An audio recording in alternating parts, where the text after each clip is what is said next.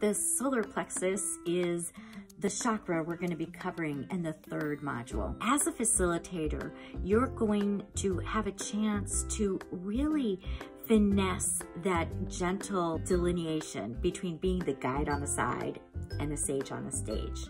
To be able to have that sensitivity to understand the diverse experiences that our members are coming from, as well as all the different learning styles and ways of processing information.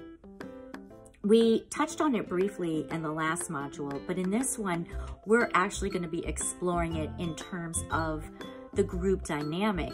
Most challenges in a group can actually really be uh, avoided by having a really excellent event design plan.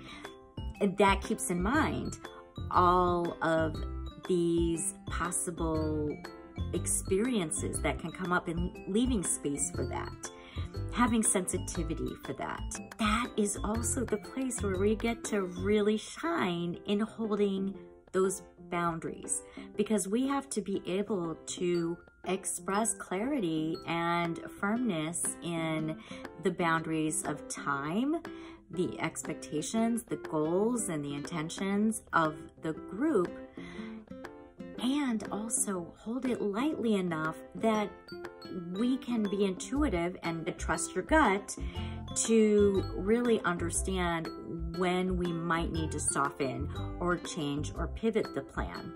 So this is where we are really going to explore the importance of ownership and buy-in in a community and the importance of delegating and giving roles and responsibilities in a group.